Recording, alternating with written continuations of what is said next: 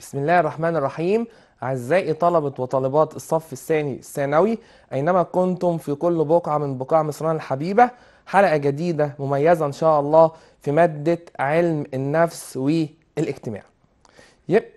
يمكن عزيزي الطالب طالب الصف الثاني الثانوي أو أنت في المرحلة الثانوية درست علوم كتيرة درست علوم لغة درست لغة عربية لغة فرنسية لغة إيطالية درست تاريخ درست جغرافيا. ولكن أول عهدك السنة دي بدراسة علم النفس. بصرف النظر عن الامتحان ومحتوى المنهج أنت هتستفيد كتير جدا من المادة العلمية بتاعتنا في الحياة العملية أو الحياة الواقعية. بداية عايز أدي بعض أساسيات لفهم المادة ده زي ما قلت في البداية لأن دي بداية عهدك في معرفة هذه المادة. شيء طبيعي جدا علشان أحكم على أي مجال بيقدم معرفة إنه علم يعني أديله صفة العلمية لابد إن العلم ده يكون له موضوع بيهتم بدراسته. يعني أنا عندي في علم بيدرس النبات في علم بيدرس الحيوان في علم بيدرس طبقات الأرض اللي هو علم الجيولوجيا على سبيل المثال في علم بيدرس الأجرام السماوية اللي هو علم الفلك. طب علم النفس اللي هو موضوعي النهارده بيتكلم عن إيه؟ العلم ده بيتكلم عن إيه؟ وإيه هو موضوعه الأساسي؟ وإيه هي موضوعاته الفرعية؟ بداية أنا عندي المادة منقسمة لشقين. الشق الأول متعلق بعلم النفس والشق الثاني متعلق بعلم الاجتماع. حديثنا النهارده عن الفرع الأول من المادة وهو علم النفس. هنتناول فيه ثلاث أبواب بإذن الله. لما نيجي نحدد موضوع علم النفس هنأكد إن موضوع علم النفس يتمثل في دراسة السلوك. زي ما قلنا من لحظات أي علم لابد إن يكون له موضوع بيهتم بدراسته. طب علم النفس ده موجود عشان يدرس إيه؟ علشان يدرس السلوك. يبقى ركيزة أساسية لابد من معرفة موضوع العلم علم النفس يهتم بدراسة السلوك. طب يعني إيه كلمة السلوك؟ أي فعل أو أي نشاط بتقوم بيه هو ده سلوكك. يعني قاعد بتتفرج على التلفزيون سلوك بتذاكر سلوك بتزور واحد قريبك سلوك بتفكر سلوك. أنا كلامي ده دلوقتي سلوك. أي نشاط بيصدر من الكائن الحي سواء كان نشاط لغوي أو حركي أو اجتماعي أو انفعالي هو ده سلوكي. علم النفس هيعتني في المقام الأول بدراسة السلوك سواء سلوك الإنسان زي ما هنأكد لاحقا أو في بعض الأحيان سلوك الحيوان.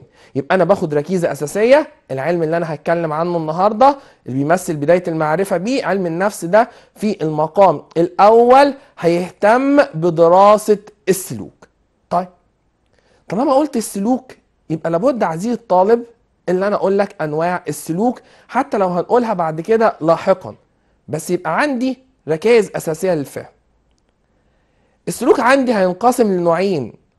في سلوك بنقول عليه سلوك ظاهري والسلوك الآخر بنقول عليه سلوك داخلي. يعني إيه سلوك ظاهري؟ من اسمه ظاهري يعني يمكن ملاحظته بشكل مباشر. زي تعبيرات الوجه المشي الكلام. يعني أنت مثلا لو بيرتسم على وجهك, وجهك علامات الغضب أنا شايف الغضب ده. علامات الخوف أنا شايف الخوف ده. جميل. والنوع التاني اللي علم النفس أيضا هيهتم بيه وهو السلوك الداخلي. وهذا السلوك أيضا قابل للملاحظة ولكن بشكل غير مباشر زي التفكير الأحلام التذكر وعلم النفس هيدرسه من خلال لا إما آثاره أو من خلال تقرير الشخص زي ما هناخد تفصيليا بعد كده. إحنا بندي ركائز ليه أو أساسيات لفهم المادة كمادة جديدة. يبقى أنا عندي نوعين من أنواع السلوك. في سلوك ظاهري هو السلوك الذي يمكن ملاحظته بشكل مباشر. زي تعبيرات الوجه والمشي والكلام. أما السلوك الداخلي هو السلوك الذي لا نلاحظه مباشرة. أمال بستدل عليه زي التفكير الأحلام التذكر ألم الأسنان الصداع. يعني مثلا لو أنت عندك صداع دلوقتي أنا مش شايف الصداع بتاعك ده. لكن أعرف إن أنت عندك صداع منين؟ لما أنت تيجي تحكي لي.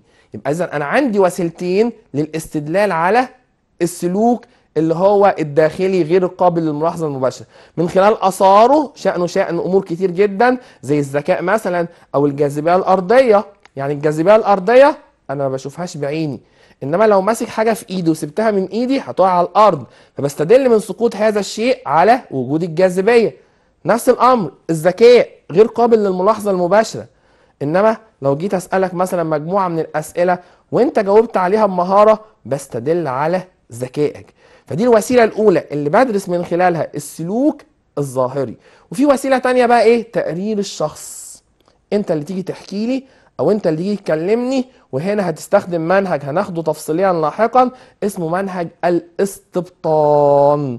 زي ما قلت من لحظات لو انت قاعد مثلا قاعد دلوقتي عندك صداع أو عندك ألم في أسنانك أنا ما أقدرش أشوف الكلام ده انت اللي تيجي تقول لي أنا حاسس بكذا وبكذا.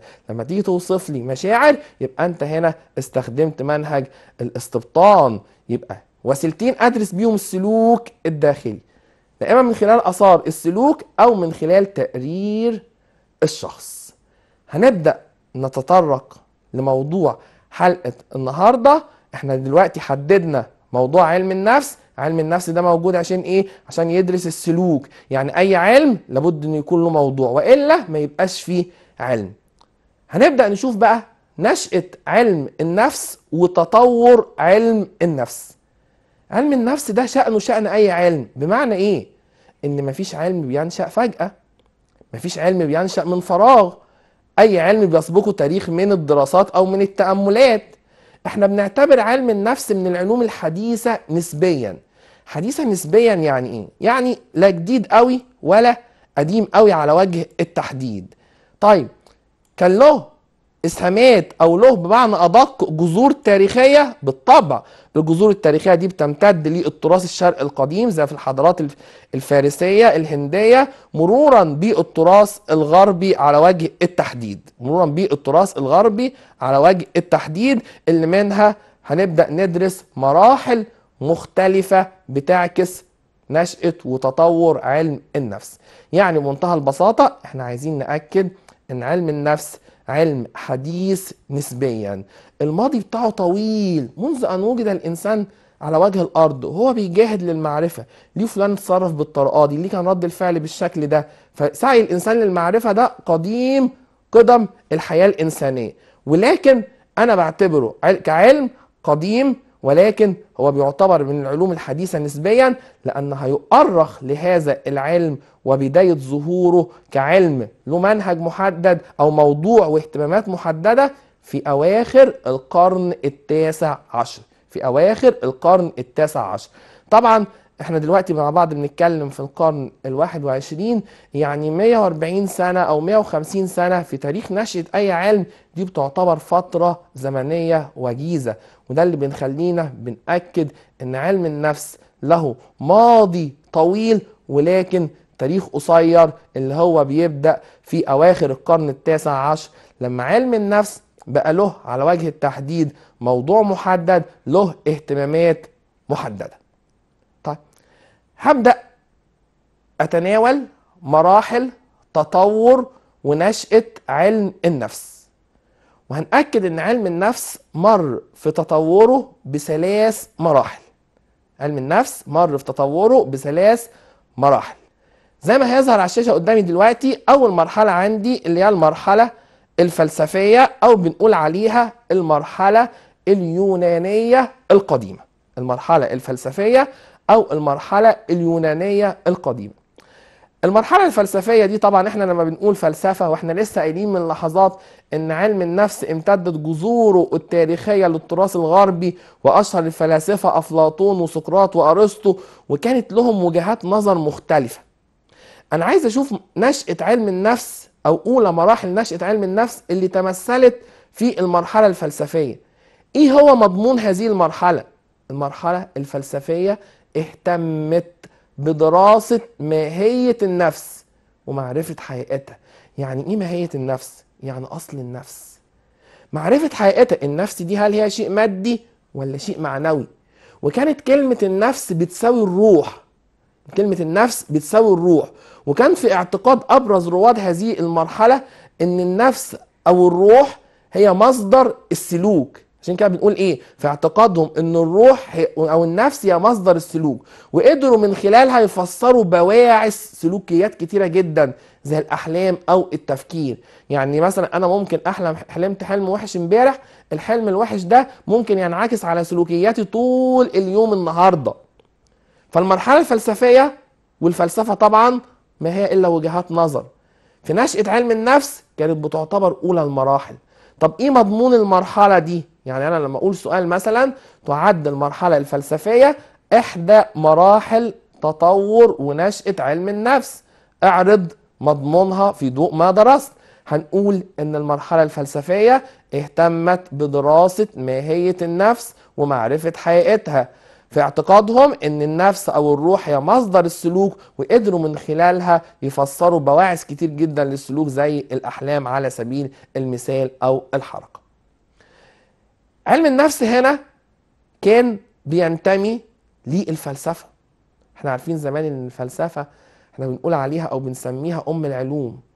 كان أي علم أو أي فرع من العلوم الاخرى جزء من الفلسفة. الفيزياء كانت جزء من الفلسفة علم النفس جزء من الفلسفة وهكذا. عشان كده المرحلة دي سميناها المرحلة الفلسفية. المرحلة الثانية من مراحل تطور أو نشأة علم النفس بنسميها المرحلة الفسيولوجية. المرحلة الفسيولوجية. طيب المرحلة الفسيولوجية دي إحنا عايزين بمنتهى البساطة بدل ما علم النفس يبقى تابع للفلسفة لا إحنا عايزين نخلي علم النفس يستقل عن الفلسفة. وده اللي حصل. إن المرحلة الفسيولوجية دي ارتبط فيها علم النفس بعلم الفسيولوجي. إيه هو علم الفسيولوجي؟ ده علم بيدرس وظائف أعضاء جسم الإنسان. إزاي كل عضو من أعضاء الجسم بيشتغل أو بيأدي وظيفته؟ فجت المرحلة دي من مراحل نشأة أو تطور علم النفس بدأ فيها علم النفس يستقل فعليا عن الفلسفة ويرتبط بعلم الفسيولوجي. ليه؟ ما النتائج المترتبة على ارتباط علم النفس بعلم الفسيولوجي؟ للاستفادة من إمكانيات المنهج التجريبي. طبعا المنهج التجريبي ده أحد مناهج البحث وبيعتبر أدق المناهج وأفضلها وأساس تقدم العلم. لا إحنا عايزين نخلي علم النفس ده تابع لعلم الفسيولوجي عشان يقدر يحقق الفايدة من المنهج التجريبي من خلال استخدامه في الدراسة. طبعا المرحلة دي من أبرز روادها عالم نفس ألماني شهير جدا بيدعى أو بيسمى فونت. فونت على وجه التحديد كان له بعض الإسهامات أو الأفكار في هذه المدرسة وهنتناول أهم إسهاماته فونت في المرحلة الفلسفية. أهم إسهامات فونت في المرحلة الفلسفية. يمكن فونت أول من أنشأ معمل لعلم النفس. المعمل ده كان عبارة عن قاعات صغيرة في جامعة بتدعى أو بتسمى جامعة ليبزيج بألمانيا عام 1879 أول من أنشأ معمل لعلم النفس في جامعة ليبزيج بألمانيا عام 1879 المعمل ده كان بيجري فيه تجارب نفس فسيولوجية. شوف أنا بقول إيه؟ تجارب نفس فسيولوجية. يعني التجربة عندي هنا مرتبطة بعلم النفس ومرتبطة بعلم الفسيولوجي. طيب عن إيه؟ عن الإحساس والإدراك. يعني موضوع التجارب الإحساس والإدراك. عزيزي الطالب هنتناول باب عندي من محتويات المنهج اسمه العمليات المعرفية يعني العمليات العقلية. الإحساس عملية معرفية والإدراك عملية معرفية. بس عمري ما هوصل للإدراك إلا إذا كان في إحساس تلاه انتباه وهكذا. الحواس اللي أنا بمتلكها سواء سمع أو بصر أو شم أو تذوق دي بتعد بمثابة النافذة على العالم الخارجي. طب أنا بستقبل مثير أنا سامع صوت مثلا. طب ركزت على الصوت ده انتباه. طب لما أعرف ده صوت مين؟ صوت بابايا صوت أخويا صوت مامتي؟ يبقى ده إدراك. فهنا ركز على التجارب النفس فسيولوجية عن موضوع الإحساس والإدراك. ويمكن كمان تحديد موضوع آخر للدراسة وهو موضوع الشعور أو التفكير. إزاي أي إنسان مننا بيشعر؟ إزاي أي إنسان مننا بيفكر؟ يبقى المرحلة دي أساسها إيه؟ بدل ما علم النفس كان بينتمي للفلسفة لأ إحنا عايزين علم النفس يبقى تابع لعلم الفسيولوجي. طب ليه؟ عشان يقدر يستفيد من إمكانيات المنهج التجريبي. طب أبرز رواد المرحلة؟ فونت. أهم إسهاماته؟ فونت. أول من أنشأ معمل لعلم النفس في جامعة ليبزيج بألمانيا عام 1879 كان المعمل ده بيعمل فيه تجارب نفس فسيولوجية. شوف التجربة اهي. زي ما قلنا مرتبطة بعلم النفس وعلم الفسيولوجي. عن الإحساس والإدراك. وحدد موضوع الدراسة في التفكير أو الشعور. إزاي أي إنسان مننا بيفكر أو إزاي أي إنسان مننا بيشعر. بالإضافة إلى تأسيسه لمجلة الدراسات الفلسفية عام 1881 طيب المعمل بتاع فونت ده الدراسات فيه ارتكزت على ثلاث محاور أو ثلاث عناصر أساسية. ارتكز فونت في دراسته على ثلاث محاور أساسية في معمله. المحور الأول هيتمثل في عمليات الإدراك الحسي. يعني إيه إدراك حسي؟ الإدراك الحسي معناه الإدراك بشكل مباشر. زي ما أنا مثلا أجي أشم ريحة برفان بشكل مباشر أو ريحة وردة بشكل مباشر.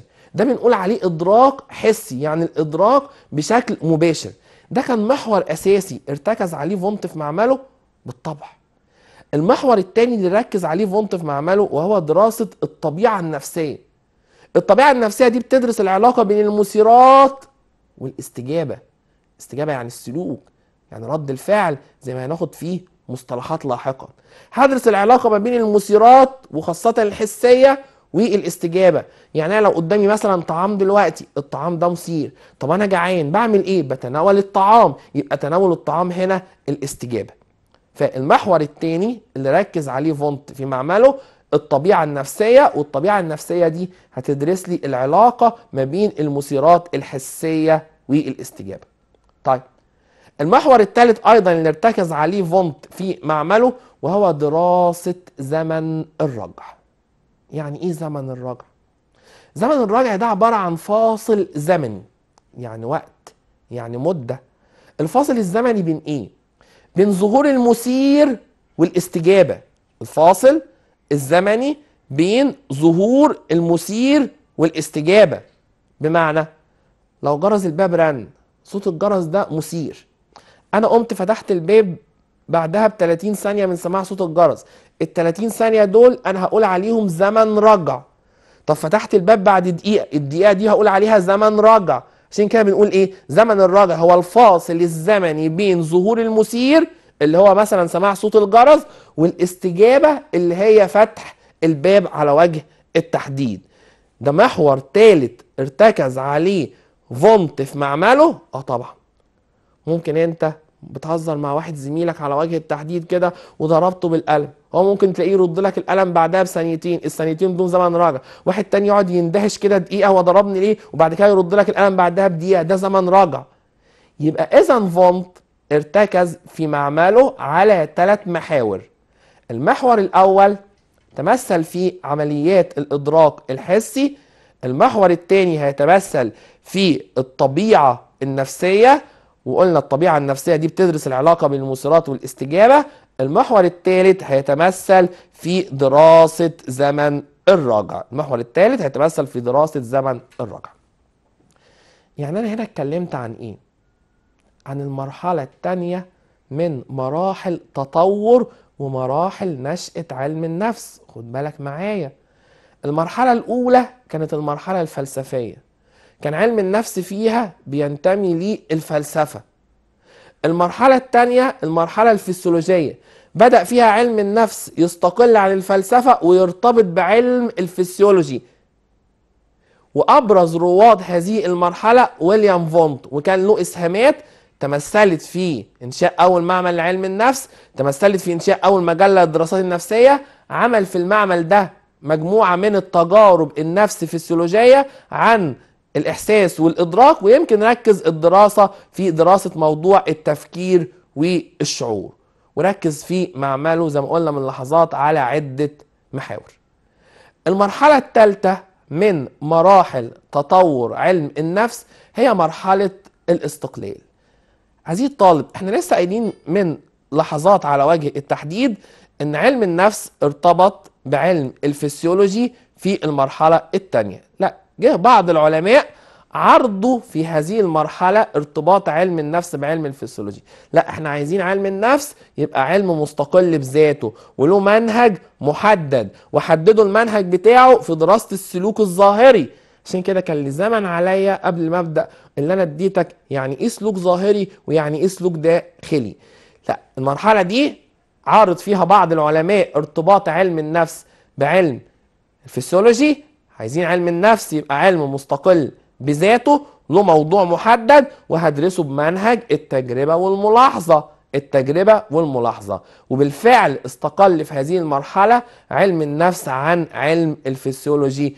وبقى موضوعه متمثل في دراسة السلوك الظاهري بمنهج الملاحظة والتجربة. يبقى زي ما اتفقنا عزيزي الطالب مفيش علم بينشأ فجأة.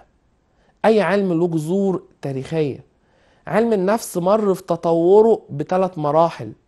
بدينا بالمرحلة الفلسفية تلاها المرحلة الثانية الفسيولوجية ثم مرحلة الاستقلال. طيب هننتقل لجزئية جديدة أخرى متعلقة بأبرز مدارس واتجاهات علم النفس الحديث. أبرز مدارس واتجاهات علم النفس الحديث. إحنا اتفقنا ان علم النفس ده موجود علشان يدرس السلوك. طب إيه هي أبرز مدارس يعني اتجاهات أو آراء دراسة السلوك؟ مدرسة هنا يعني طريقة.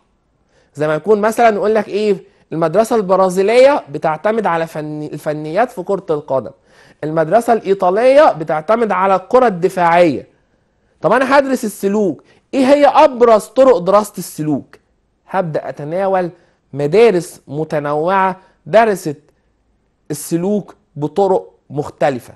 أول مدرسة عندي من مدارس علم النفس الحديث المدرسة البنائية.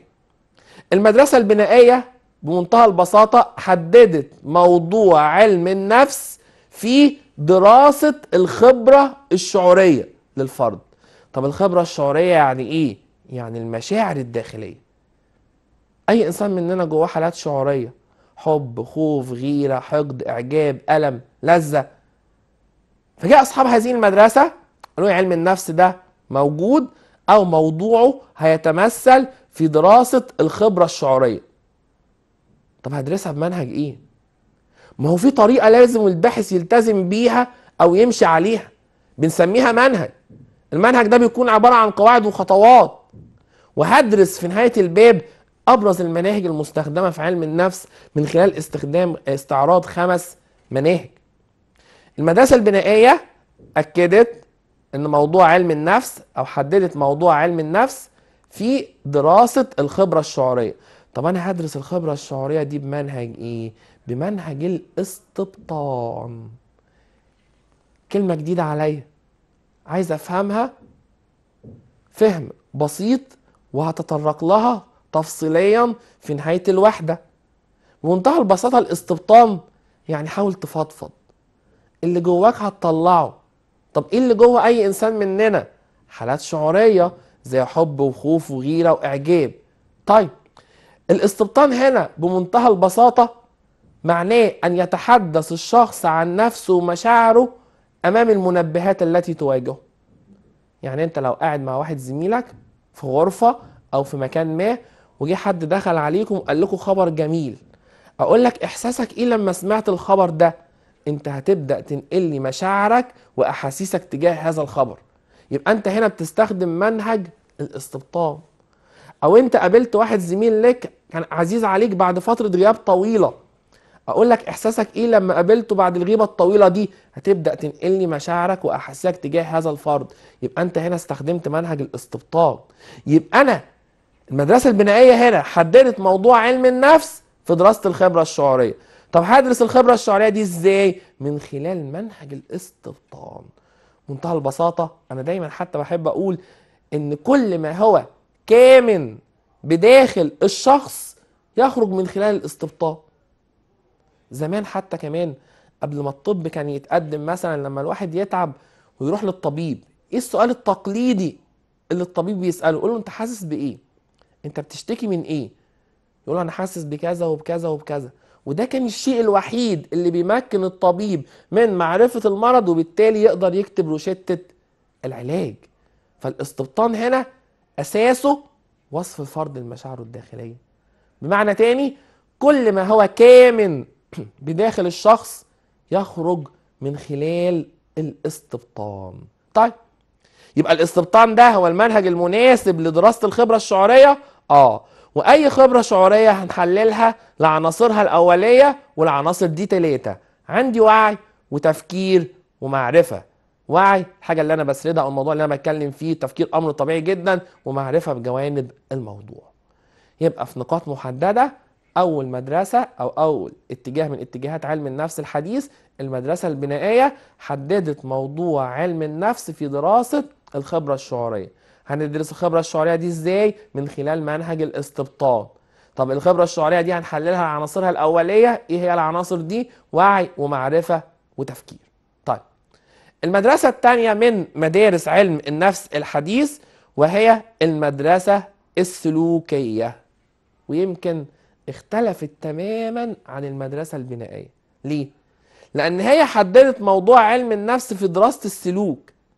بس مش أي سلوك بقى. ما أنا قلت السلوك نوعين. السلوك الذي يمكن ملاحظته وقياسه زي الذكاء على وجه التحديد يعني أنا هنا دلوقتي هخالف بقى المدرسة البناء المدرسة البنائية اللي اعتمدت على الشعور والمشاعر الداخلية وهتجه لدراسة السلوك إيه؟ الظاهر. لدراسة السلوك الظاهر. وهدرسه من خلال منهج الملاحظة الموضوعية طبعا بدلا من منهج الاستبطان الملاحظة الظاهرة للسلوك. لا ده اختلاف جوهري بين المدرسة البنائية والمدرسة السلوكية. المدرسة البنائية درست السلوك المدرسة البنائية ركزت على دراسة الخبرة الشعورية. المدرسة البنائية ركزت على دراسة السلوك الظاهر. المدرسة البنائيه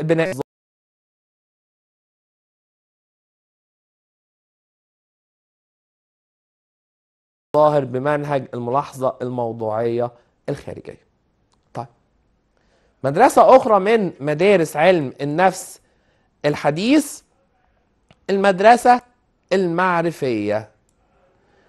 ويمكن المدرسة المعرفية على وجه التحديد برضو في مجموعة من الأفكار أو الطريقة اللي اتبعتها في دراسة السلوك.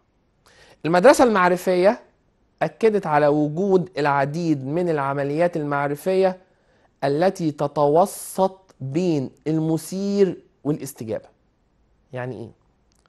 يعني عايز أقول لك إن الإنسان مش مجرد إن هو بيصدر استجابة بصورة شكلية بمعنى إيه؟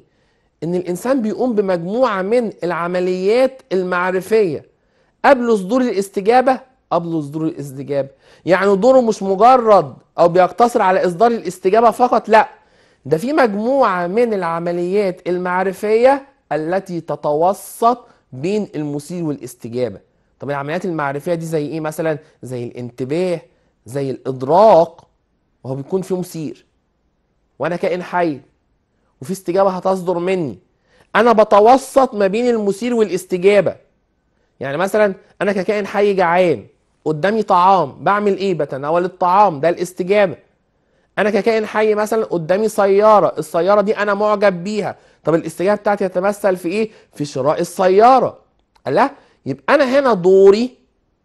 مش مجرد إصدار استجابة بس لا ده بيسبقها مجموعة من العمليات المعرفية اللي أبرزها زي ما قلت دلوقتي الانتباه والإدراك. وده اللي بيفسر لي هي ليه الاستجابة بتختلف من فرد الآخر هو ليه الاستجابة ممكن تختلف في الفرد ذاته باختلاف مثلا الموقف أو السياق؟ بمعنى تاني إحنا عايزين نأكد إن الاستجابة الإنسانية متنوعة يعني متغيرة. لأن الإنسان لما يجي يفسر المثيرات التفسير ده ممكن يختلف. آه طبعا. وهديك أمثلة توضيحية. المدرسة المعرفية هنا أكدت على وجود مجموعة من العمليات المعرفية التي تتوسط بين المثير والاستجابة وده اللي هيشكل الاستجابة في صورتها النهائية. على وجه التحديد دي أمثلة توضح لي الاستجابة إزاي ممكن تتغير بناء على هذه العمليات المعرفية زي الإدراك أو الانتباه. أنا لو قاعد في البيت مثلا الساعة 3 العصر وجرس الباب رن بقوم أفتح الباب سلوك عادي. طب لو جرس الباب مثلا رن الساعة 3 الفجر تلاقيني أبقى قلقان أقول اللهم اجعله خير مين اللي جاي دلوقتي؟ لا يبقى سلوكي هنا اتغير أو استجابتي هنا اتغيرت رغم إن المنبه واحد اللي هو صوت الجرس. طب إيه اللي خلى سلوكي يتغير؟ الإدراك. والإدراك ده عملية معرفية بتأكد عليها أو بياكد عليها أصحاب المدرسة المعرفية. ده مش بس كده. أنا ممكن مثلا في طالب بيسألني سؤال فجاوبت عليه بجدية أو بأسلوب لائق. في المرة التانية بيسألني سؤال فرديت عليه بأسلوب غير لائق.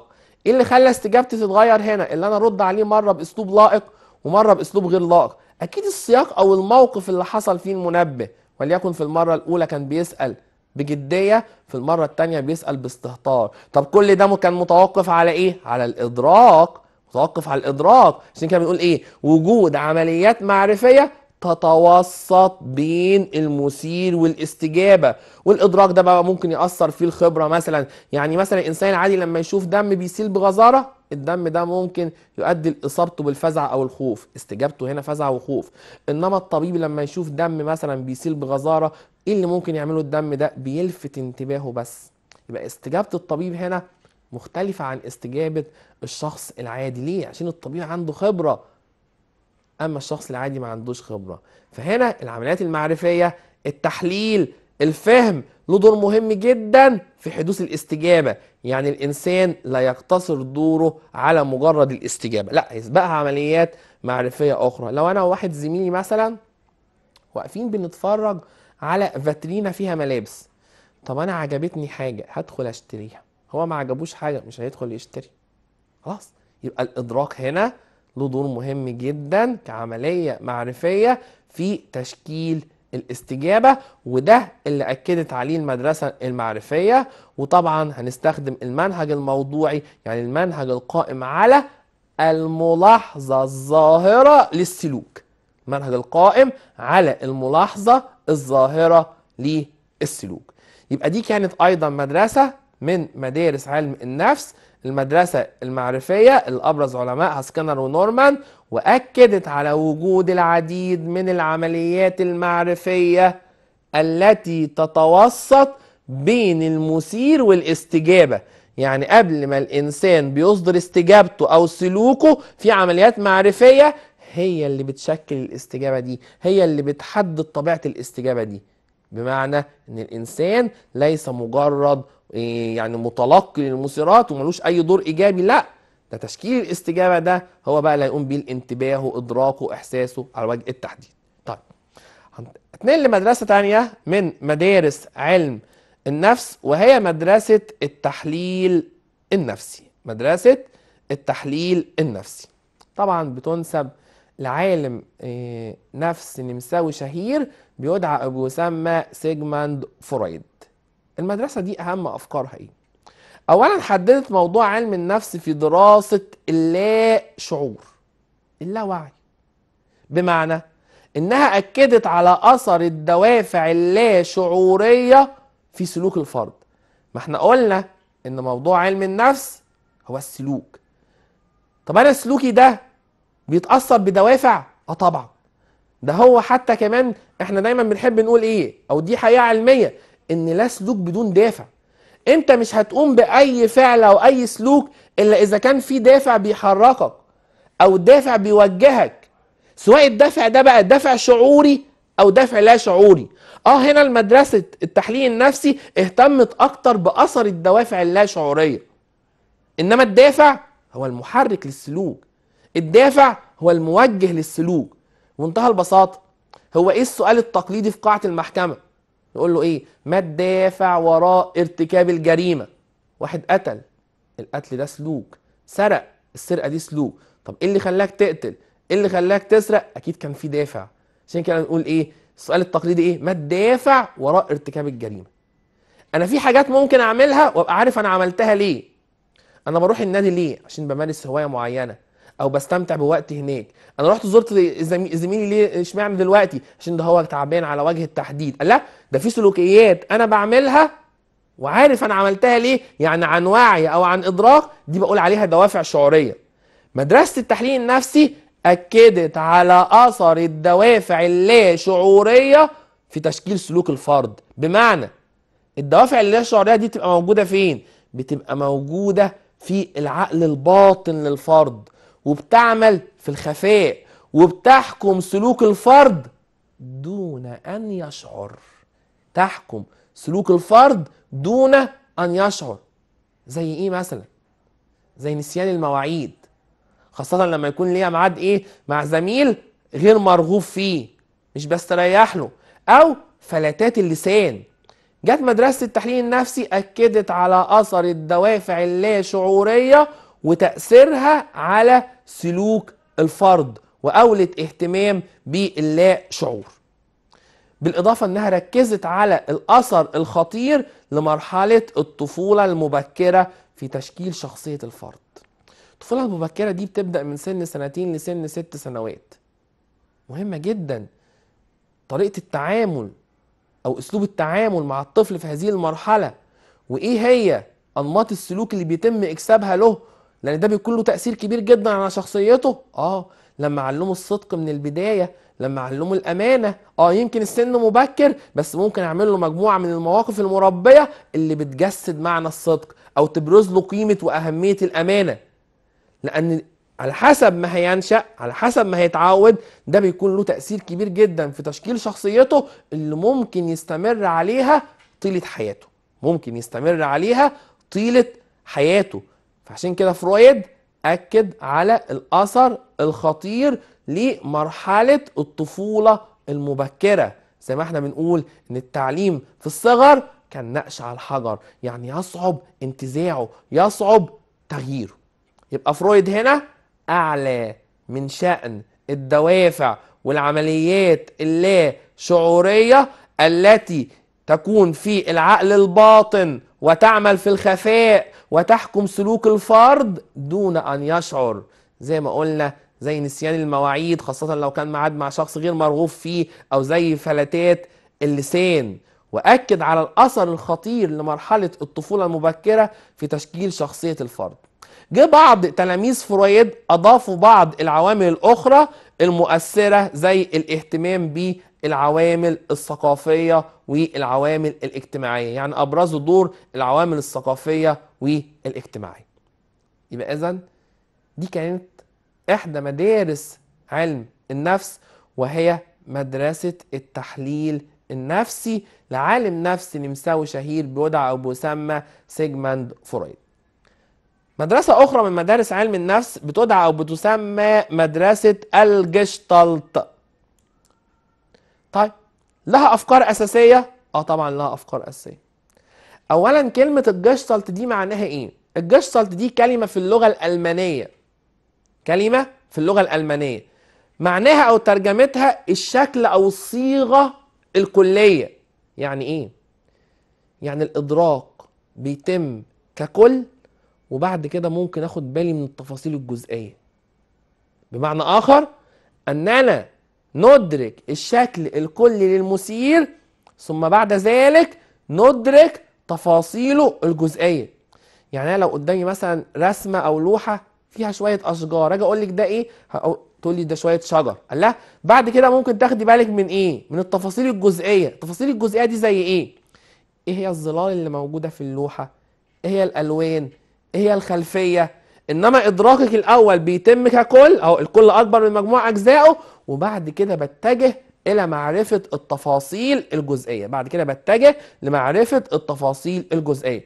أو أنا مثلا لما أجي أكتب لك مثلا على السبورة كده إيه رمز H2O أقول لك ده رمز إيه؟ أو أقول لك ده رمز إيه؟ تقول لي رمز المية. لا إدراكك هنا تم ككل.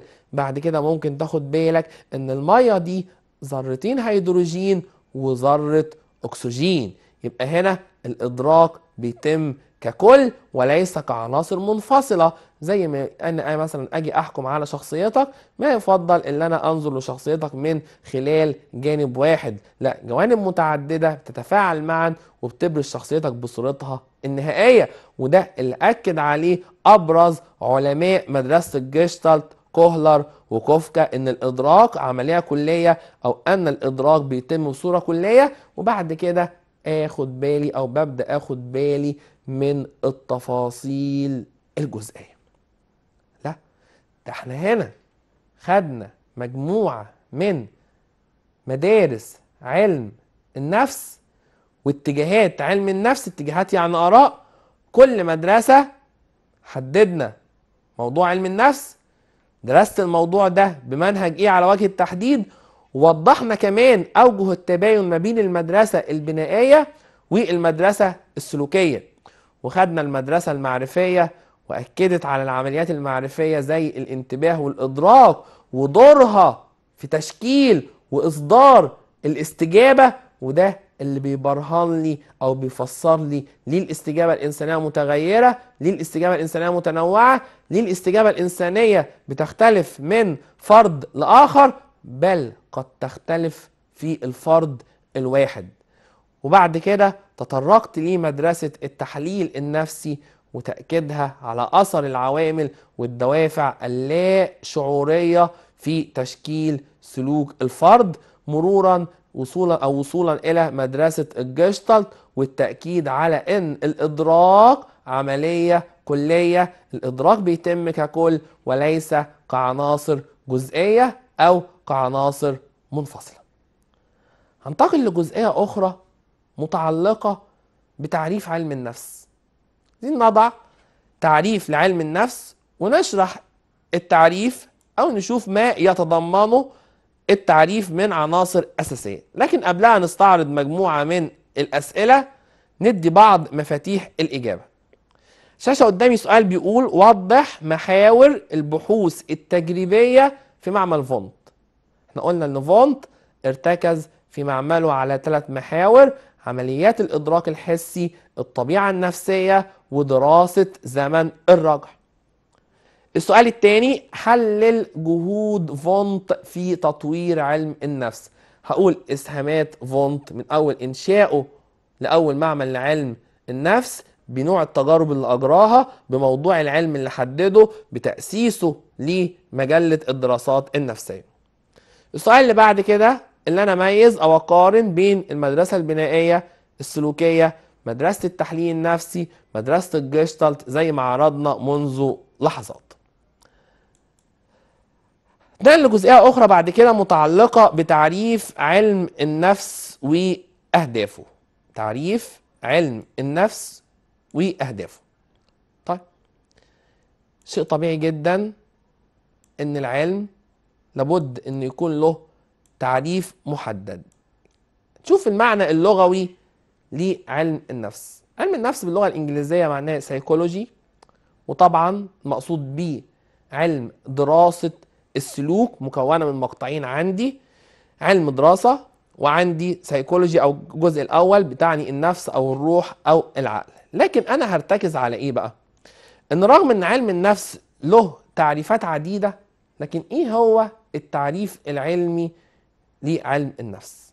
إحنا حددنا موضوع علم النفس في دراسة السلوك فبالتالي بقول ان علم النفس هو الدراسة العلمية. علمية يعني منظمة يعني مش بصورة عشوائية. الدراسة العلمية لكل جوانب السلوك الإنساني. وأحيانا الحيواني ردا على مختلف المنبهات. أنا هقوم بدراسة منظمة هدرس فيها سلوك الإنسان أفعاله وتصرفاته أي نشاط بيصدر منه وأحيانا كمان هدرس سلوك الحيوان بمعنى إيه؟ اللي إحنا عايزين نأكد إن علماء النفس ودي ملحوظة مهمة جدا بيعتمدوا على دراسة السلوك الحيواني لأن دراسة السلوك الحيواني من الممكن أو بالفعل بتوفر الكثير من الحقائق والمعلومات اللي بتفيد في تفسير سلوك الإنسان وفهمه يعني علماء النفس بيعتمدوا على دراسة سلوك الحيوان؟ آه طبعا. هو في تشابه عشان نوضح أحيانا إن في تشابه ما بين الإنسان والحيوان في بعض السلوكيات بالطبع. وبقيس على كده أمور كتيرة جدا. يعني مثلا لو أنت عندك قطة في البيت القطة لما تكون جعانة بتعمل إيه؟ بتدور على الأكل. طب أنت لما تكون جعان بتعمل إيه؟ بتدور على الأكل. لا يبقى سلوك الجوع هنا واحد. لدى كل من الإنسان والحيوان. فأنا لما أدرس سلوك الحيوان الدراسة دي هتوفر لي الكثير من المعلومات والحقائق حوالين سلوك الإنسان وتفيدني في تفسيره. بالإضافة كمان إن سلوك الحيوان ده فادني في نظريات كتيرة جدا للتعلم لأن معظم نظريات التعلم القديمة أجريت على الحيوانات زي التعلم بالإشتراط الكلاسيكي التعلم بالإشتراط الإجرائي. لأن الحيوان طبعا عمره يعني ما هيرفض التجربة. هو الدراسه العلمية لكل جوانب السلوك الإنساني وأحيانا الحيواني ردا على مختلف المنبهات. وأنا لما أجي أقوم بسلوك أكيد في سبب. المنبهات دي زي ما هنتناولها كمان لحظات قد تكون منبهات داخلية وقد تكون منبهات خارجية. كلمة منبه بتساوي مثير. كلمة السلوك بتساوي الاستجابة بتساوي رد الفعل. المنبهات قد تكون منبهات داخلية. داخلية يعني إيه؟ يعني تنبع من ذات الإنسان. تنبع من داخل الإنسان زي الجوع زي العطش. أما المنبهات الخارجية بتنبع من البيئة المحيطة بالفرد زي صوت ضوء حرارة أشياء أشخاص. الله يبقى أنا سلوكي بيكون رد فعل على أو رد على منبه. آه لما يكون الجو حر أنا بعمل إيه؟ برتدي ملابس خفيفة. استجابة لمنبه خارجي اللي هو ارتفاع درجة الحرارة. لما واحد يقول لي صباح الخير أنا بعمل إيه؟ برد عليه بقول له صباح النور. استجابة له هو كشخص. فهنا السلوك هنا اللي بيصدر استجابة على المنبهات. زي ما هنستعرض برضو تفصيليا سواء كانت المنبهات داخلية أو خارجية. يبقى علم النفس هو الدراسة العلمية لكل جوانب السلوك الإنساني وأحيانا الحيواني ردا على مختلف المنبهات. طب لما نيجي نشرح التحليل ده أو نشوف التحليل ده بيتضمن عناصر إيه؟ أول عنصر عندي معنى الدراسة العلمية. معنى الدراسة العلمية. يعني إيه تعريف الدراسة العلمية بمنتهى البساطة؟ أسلوب الوصول للمعلومات وليس تأكيدها. الدراسة العلمية إحنا قلنا دراسة منظمة. أسلوب يعني طريقة. الطريقة اللي أنا هوصل بيها للمعلومة. بس أحيانا ممكن ما أكدش المعلومة دي وده راجع لإيه؟ بصورة عامة يا جماعة. إن إن قو... أي قانون في العلم أو جميع قوانين العلم قوانين احتمالية. يعني ما أقدرش أديها صفة اليقين المطلق. أنا ما عنديش يقين غير في علم واحد اللي هو علم الرياضيات. يعني 2 زائد 2 بتساوي 4 هتفضل كده للأبد. مش هتتغير السنة الجاية ولا السنة اللي بعدها ولا في أي توقيت.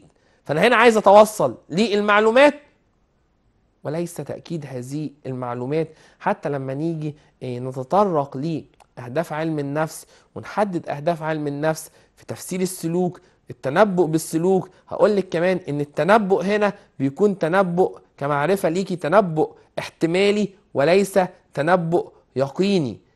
دايما بحب أقول عبارة إن تنبؤات عالم النفس كتنبؤات عالم الأرصاد الجوية. يعني إيه؟ يعني عرضة القدر من الخطأ.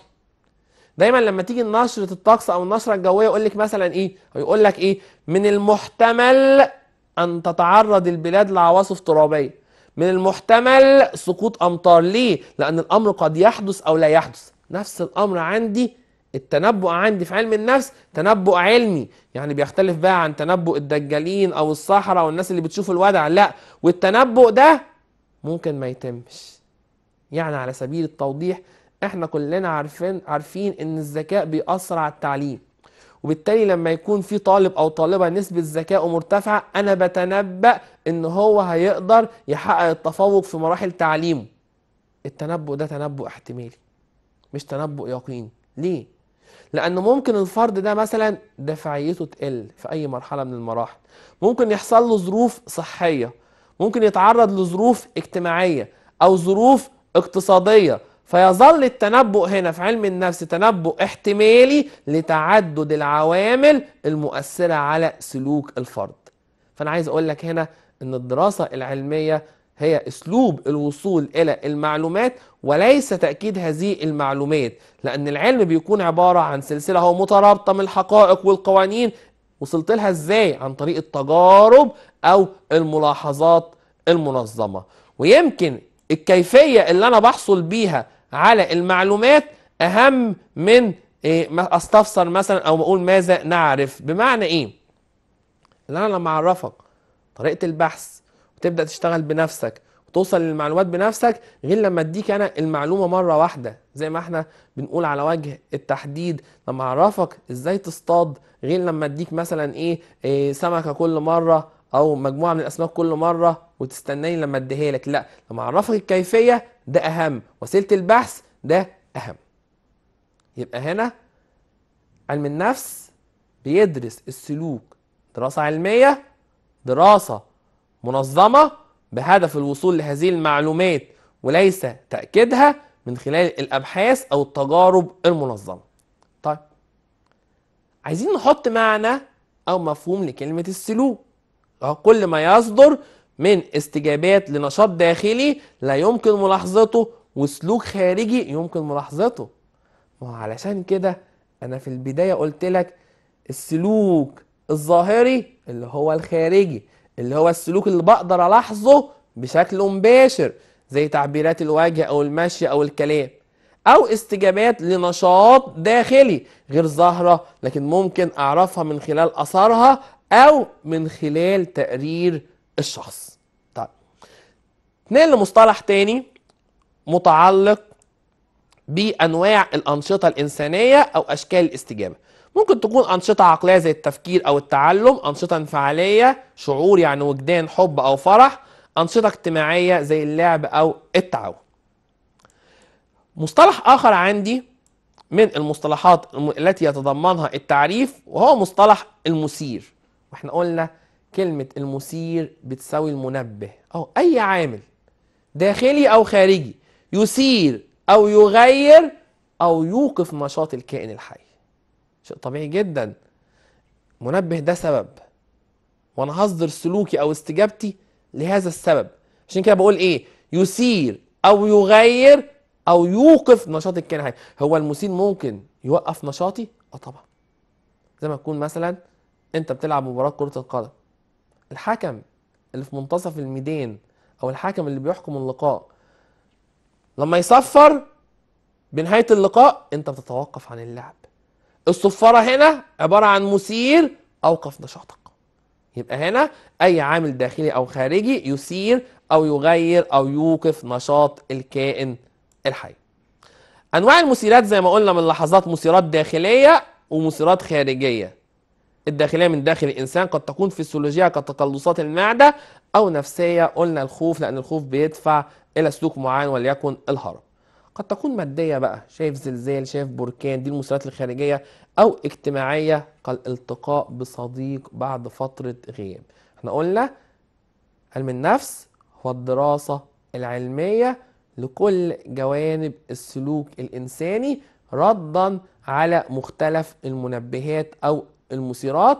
قلنا يعني إيه مثير دلوقتي وقسمنا المثيرات لنوعين مثيرات داخلية ومثيرات خارجية. المثيرات الداخلية بتأثر على الإنسان من داخله خارجية طبعا حتى من اسمها بتؤثر على الإنسان من خارجه وادينا ليها أشكال أو أنواع. طب مصطلح آخر بيتعلق بالاستجابة. إحنا قلنا الاستجابة بتساوي السلوك بتساوي رد الفعل. يبقى نشاط يقوم به الكائن الحي أو لمواجهة موقف أو لموقف يواجهه أو منبه ينبهه أو منبه ينبهه. النشاط اللي أنا هقوم بيه عشان أواجه موقف معين على وجه التحديد. طيب. هتنقل لجزئية جديدة متعلقة بأهداف علم النفس. عزيزي الطالب اتفقت معاك إن علم النفس هو علم دراسة السلوك. أي دراسة أنا هسعى من خلالها لتحقيق مجموعة من الأهداف. هسعى من خلالها لتحقيق مجموعة من الأهداف. أنا بدرس السلوك ليه؟ أهداف علم النفس عندي هتتمثل في ثلاث أهداف. أول هدف عندي تفسير السلوك أو بمعنى آخر فهم السلوك. فهم السلوك يعني معناه معرفة الأسباب اللي بتؤدي لحدوث سلوك معين. تفسير السلوك يعني معناه معرفة سبب حدوث السلوك. زي ما انت يجي لك سؤال في الامتحان يقول لك بما تفسر بما تفسر يعني قول لي السبب. حتى إحنا بنستخدم مثل دارج عندنا أو مثل شعبي يقول لي إيه؟ إذا عرف السبب بطل العجب. يعني أنا لو عرفت سبب السلوك ده هقدر أتعامل معاه. إذا- أو زي الطبيب مثلا لما بيقدر يحدد أو يعرف إيه سبب المرض بيقدر يوفر العلاج المناسب له. يعني لو لاحظت على طفل معين اللي كل تصرفاته بتتسم بالخوف الشديد في التعامل مع الآخرين. فقلت لك تفسير الخوف لدى طفل معين بأنه يرجع لسوء معاملة والديه له. لا يبقى أنا هنا قدرت أفسر سلوك الخوف. عرفت سبب سلوك الخوف على وجه التحديد. لما أجي أقول لك مثلا الانحراف يحدث بسبب فساد البيئة. طب الانحراف ده سلوك تفسيره إيه؟ فساد البيئة. القسوة تؤدي للاضطراب النفسي. الاضطراب النفسي ده سلوك يبقى سببه إيه؟ القسوة. فتفسير السلوك هنا معناه معرفة سبب حدوث السلوك. ومجرد إن أنا بعرف الدافع ورا السلوك ده بيساعدني على فهمه. ده مش بس كده ده بيديني حتى كمان القدرة على التنبؤ بيه. يبقى أنا هدرس السلوك ليه؟ بهدف تفسيره يعني معرفة سبب حدوث السلوك. ليه؟ لأن إمكانية التنبؤ بالسلوك هتتوقف على فهم السلوك. إمكانية التنبؤ بالسلوك هتتوقف على فهم السلوك. يمكن الوقت عدى بسرعة.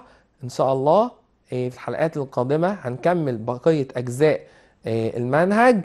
إيه، اتشرفت بيكم وسعدت بكم كثيرا. والسلام عليكم ورحمة الله وبركاته.